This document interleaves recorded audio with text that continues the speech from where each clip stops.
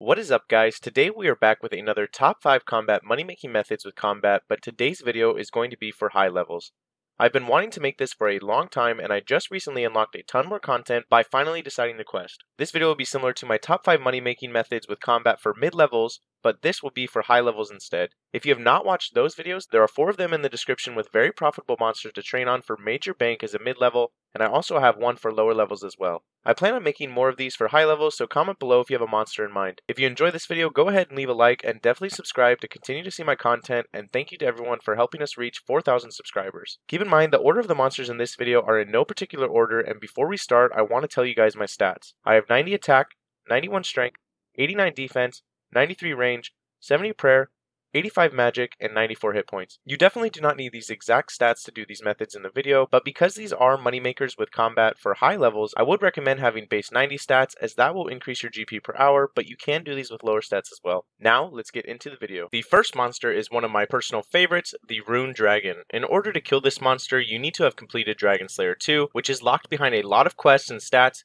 one being 200 quest points. This is a high level guide, so keep in mind some of these will require quests or skills. I would recommend that you have 90 base combat stats to do Rune Dragons effectively and for more money. However, you can do these with lower stats too. The gear we'll be using is the Helm of Neitiznot, Bandos chestplate, Bandos tassets, an unholy symbol, an amulet of torture, a fire cape, berserker ring imbued, Barrow's gloves, Dragon Defender, the Dragon Hunter lance, and insulated boots. You have to wear insulated boots because the Rune Dragons use a special attack where they send electricity underneath you, and the boots help deny the damage. You can also wear full Justiciar instead and be extra tanky, however this will cause your kills to be slower. You can also use the Dragonfire shield instead of the Defender as well, and get even more defensive bonuses. If you cannot afford this gear, you can use any weapon that has a high stat bonus, like the Zamorakian Hasta, and you can use lower tier gear like Barrow's armor. In the inventory we have one super extended anti-fire potion, one dose, one super combat potion, one dose, a Dig Site pendant to teleport to the Rune Dragons, a Bandos God Sword to lower the Rune Dragon stats, four prayer potions to pray piety and protect from magic, a rune pouch with runes to teleport to my house after my kills, and then I can rebank and come back, and the rest of the inventory is sharks. Additionally, you can use dragon claws to spec out the rune dragons, I have seen many people use those before, or you can use the dragon warhammer as it is a one-handed weapon instead of the Bandos Godsword, but I am using the Bandos Godsword because I cannot afford dragon claws or the warhammer at this time. With this gear you should average 4 kills in inventory, so I will not be bringing high alchemy runes. Once you are geared and ready to go, use the dig site necklace and teleport to Lithkren,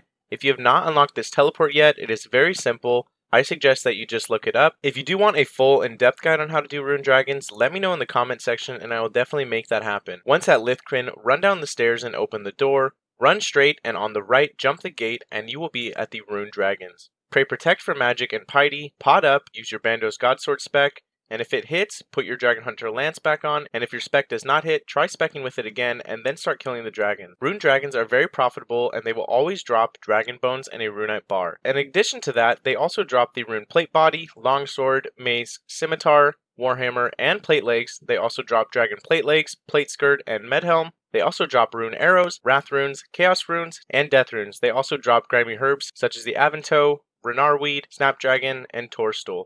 Other items include Rune Javelin heads, Runite bolts unfinished, the Dragonstone, Runite ore, Dragon Javelin heads, Dragon bolts unfinished, and the rare, more valuable items that the Rune Dragons drop are Dragon limbs worth 3.7 mil, Dragon metal lump worth 2 mil, the Draconic visage worth 5 mil, and also an elite clue scroll. If you kill rune dragons, you can make a minimum of 1 mil GP per hour and up to 1.5 mil an hour if you pay close attention. Also, while filming this, I also got the dragon limbs, which are worth 3.7 mil, I've had crazy RNG lately. The next method is quite fun but does require a little more time and patience. It is the Corporeal Beast. This high level monster has some requirements that must be met in order to be done effectively. If you're going to solo corp, which is quite fun and somewhat relaxing, you need to have a player owned house with an ornate rejuvenation pool, and also a jewelry box with a game necklace teleport. If you're going to do corp in a group, then one person must have this in their player owned house, and everyone without one must use their friend's house. If soloing, you will also need at least 90 base stats, and I recommend you max out your melee stats if you plan on soloing, because groups will crash you and steal the kill, which I will explain more later. The Corporeal Beast requires some specific gear to kill, so pay close attention to the items I am using and bringing, and if you want an ultimate noob's guide on how to do Corp with super specific in-depth details, let me know in the comment section and I will do that, because this video is just going over the basics. The armor we'll be using is full melee void,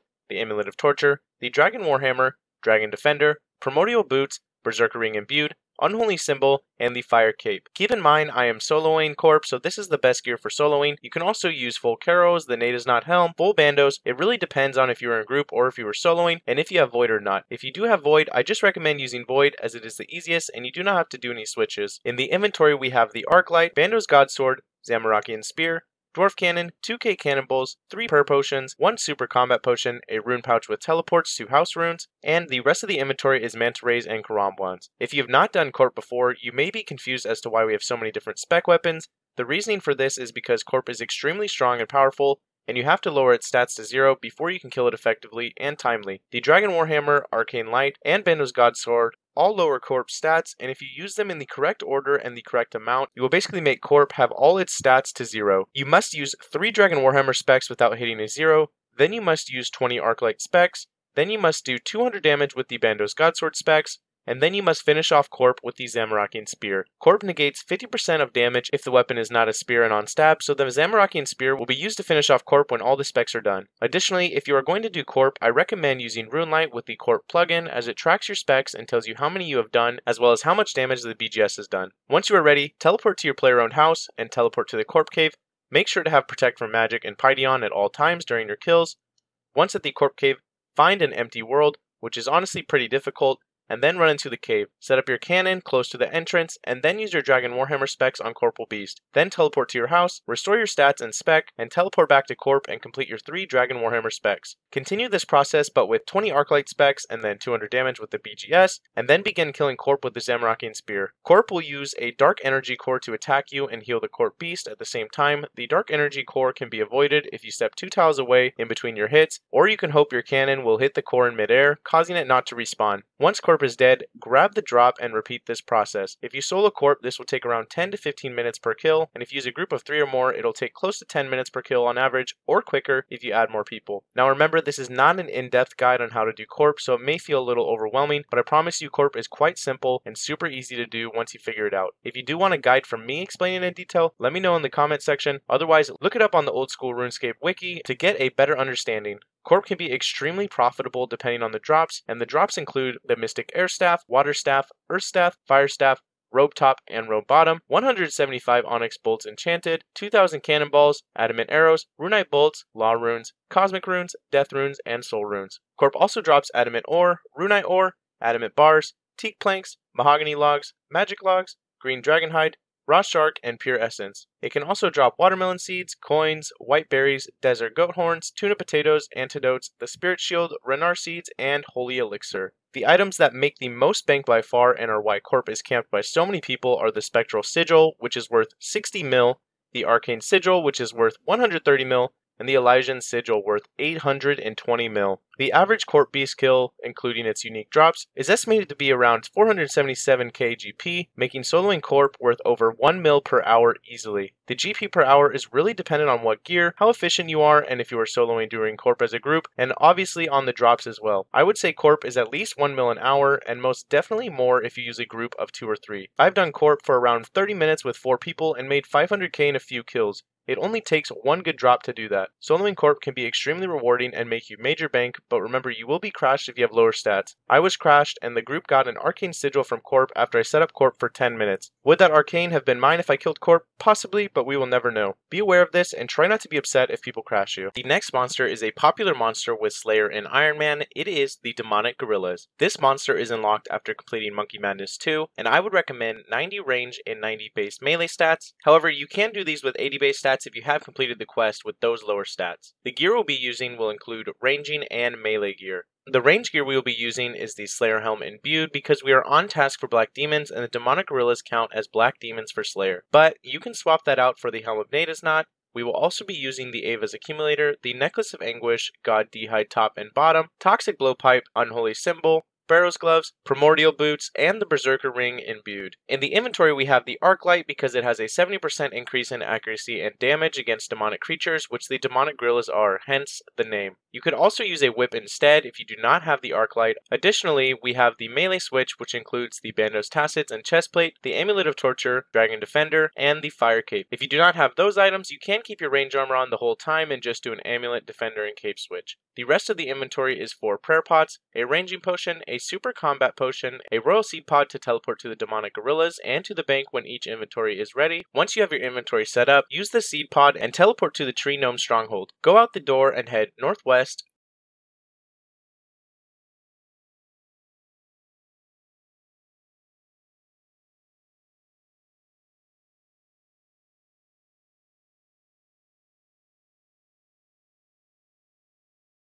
and then open the other gate, head northeast, and enter the cave entrance.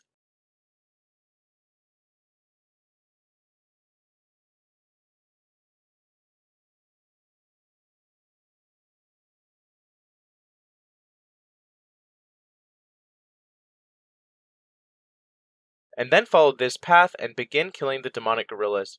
You will have to switch prayers throughout the fight, and I'm not going to explain exactly how to kill them, but you can look it up. If you want me to make an in-depth guide on the demonic gorillas, let me know in the comment section and I will do that. The demonic gorillas are very profitable, and the items they drop include rune plate legs, plate skirt, and chain body, the dragon scimitar, law runes, death runes, and runite bolts. They also drop grimy kwuarms, cadantines, dwarf weeds, and lantadymes. They also drop Ranarr seeds, Snapdragon seeds, Torstol seeds, yew seeds, magic seeds, and many other seeds that are worth bank. They can also drop prayer potions, sharks, coins, Saradomin brews, javelin shafts, rune javelin heads, dragon javelin heads, adamant bars, diamonds, and runite bars. The item that people camp them for that also brings the most profit per hour is the Zenyte Shard, worth 15.5 million GP and drops 1 in 300 kills. They can also drop the Ballista Limb, Spring, Light Frame, Heavy Frame, and the Monkey Tail, which are more rare and are really just troll drops. If you kill the demonic gorillas, you can get 1 mil an hour, but if you receive a Zenyte shard, which you are likely to, it jumps to 2 mil GP per hour. The next monster is extremely popular, especially when rebuilding. This monster is Zulrah, a pretty powerful boss. This boss requires the completion of the Regicide quest, or up until you reach the point of Port Tyras, I would recommend 70 plus defense, 80 plus range, and 80 plus magic. Additionally, you must have the protection prayers, but you should probably have a higher prayer if possible. I would recommend at least 45. Zulrah requires range and magic to kill effectively, and this is how we will be doing Zulrah in this video. If you want an in-depth guide on Zulrah, let me know in the comments because I will not be going into extreme detail, I will only be telling you the basics. The gear we'll be using for magic will be the Ancestral Hat, a God Cape, definitely get that upgraded, I just haven't done it yet, the Occult Necklace, the Unholy Symbol, the Trident of the Swamp, which can be substituted for the Trident of the Seas, but I do not recommend not using a Trident, you should at least use the Trident of the Seas, Ahrim's top and bottom, but you can use Mystic if you cannot afford wearing Ahrim's, the Mage's Book or the Book of Darkness, which is a cheaper option, the Tormented Bracelet, Eternal Boots, and the Ring of Suffering with recoils in it. In the inventory, we have our range switch. If you get good at Zulrah, you can increase your switches, and if you are just starting out, you will probably want to limit your switches. I actually haven't done Zulrah in close to a year, so I will be using a 6-way switch for range. The inventory has the Toxic Blowpipe, which is almost essential to doing Zulrah effectively, but you can also use the Magic Shortbow or something else, but I highly recommend against that. I also have the God D'hide top and bottom, which can be replaced with Armadyl, then the Necklace of Anguish, the Ava's Accumulator, and Pegasian Boots. We also have a Zul'Andra Teleport to make our trips quick and efficient,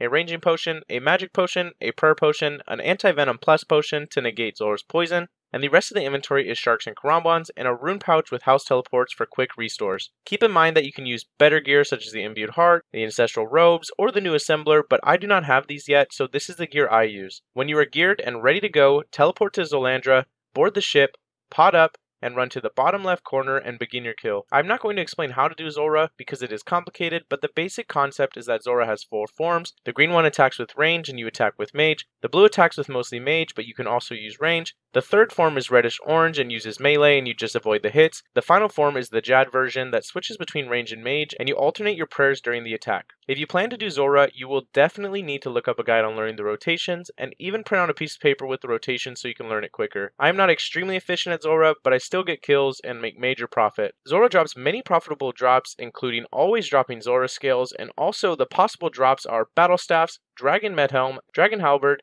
Death Runes, Law Runes, Chaos Runes, Snapdragons, Dwarf Weeds, Toadflax, Torstols, and also the majority of the more valuable seeds like the Magic Seeds, the Snapdragons, and the Torstol Seeds. It also drops less valuable seeds as well. It can drop Snakeskin, Runite Ore, Pure Essence, Flax, yew logs, adamant bars, coal, dragon bones, and mahogany logs. It can also drop Zul-Andra teleports, manta rays, antidotes, dragonstone bolts, grapes, coconuts, swamp tar, and more Zulrah scales. The drops that camp Zulrah for and make it the most profitable are the Tanzanite Fang, which is worth 5.2 mil, the Magic Fang worth 5.1 mil, the Serpentine Visage worth 5 mil, and the Uncut Onyx worth 2.7 mil. Zulrah can also drop the extremely rare Tanzanite Mutagen and also the Magma Mutagen. Also, since Zulrah is a boss, it can obviously drop the pet. If you kill Zulrah, you will average around 160 kgp per kill and make around 2 mil an hour. This can obviously increase if you get better drops or become more proficient at killing Zulrah, and it can also lower if you are averaging less than 20 kills an hour and have bad RNG. Zulrah is extremely profitable and one of the most camp bosses in old school RuneScape, so if you have not tried it, I recommend you start now as you will not regret it. The next and final monster on this countdown is Callisto. Callisto is a very powerful wildy boss that can make major bank if you safe spot it and camp it for a while. Since Callisto is in the wilderness, you will likely be PK'd a few times and have to run away every once in a while, so only bring items you are willing to lose. The method we are using will require being able to wear full Verac's, so you will need 70 plus defense. If you are going to solo Callisto, I would highly recommend base 90 melee stats. If you duo, you can have lower stats, but we will be soloing Callisto. We'll be using the Verac method, so we are wearing full Verac's. You could also use the Viggora's Chain Mace and some Prayer Gear or High Crush Gear, but I'll be using the Verac's method because I think it is slightly better. In addition to full Verac's, we are also wearing a Glory, a Mage Cape to help PKer splash on us, Rune Boots, Rune Gloves, the Explorer's Ring 2, and 20 bronze arrows. In the inventory, we have a magic longbow to create our safe spot, 4 super restores, 6 Saradomin brews in case we get PK'd, 1 super combat potion, 1 antidote potion for PKers and the spiders nearby, an Annakarl teleport to get there because we do not have the elite wilderness sword, the Royal Seed Pod as a one click level 30 wilderness teleport, black D'hide top and bottom which helps PKers splash on us, and the rest is manta rays. The inventory can vary, but this is the inventory I use. Once you are ready, teleport to Annakarl and run southeast.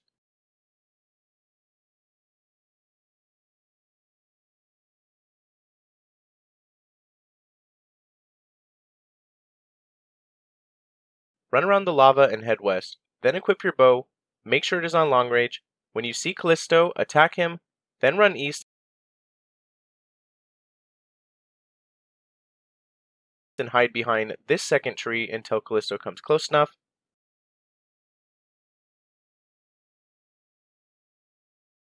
Then run north, praying protect from melee. Callisto may hit you here, or he may not, but if he does, just eat.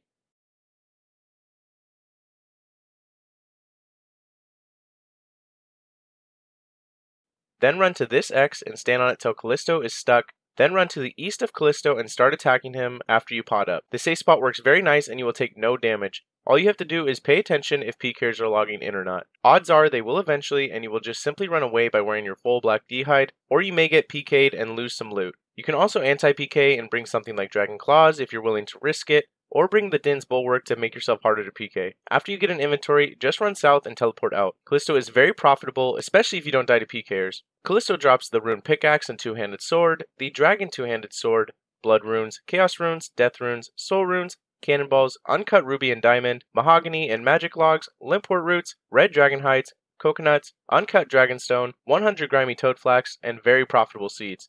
It drops the Ranarr Seeds, Snapdragon Seeds, a Magic Seed, a Yew Seed, and the palm tree seed. Callisto can also drop coins, dark crabs, super restores, super compost, dragon bones, dark fishing bait, elite clues, long bones, and curved bones. The main reason you want to kill Callisto, besides its many profitable drops, is the Dragon Pickaxe drop worth 5.3 mil and the Tyrannical Ring worth 1.5 mil. Callisto is a wilderness boss, so it can also drop the Cub Pet. If you camp Callisto, you should average 15 to 20 kills an hour and make 1 mil plus GP an hour. If you average closer to 20 kills an hour, which would mean max stats and not getting PK'd, then you would average closer to 1.5 mil an hour. Callisto is very profitable, but remember you will get PK'd quite often during peak times. That brings us to the end of the video. I hope you found this video helpful, and if you did, please leave a like so I know you want more of these types of videos, and leave a comment if you want me to make an Ultimate Noobs guide on any of these monsters and I will get that started. If you have any suggestions for other high level monsters you want to see me test out, or that you think deserve a spot in this video, let me know and I will add them to my list in the next video. Also, I have a clan chat that has a lot of PVMers and people that want to hang out. We're looking for more active members. If you're interested in that, the clan chat is just Hartblitz. The Discord link is in the description as well. Remember to subscribe to see more of my content, and thanks guys for watching. Stay tuned for my next video.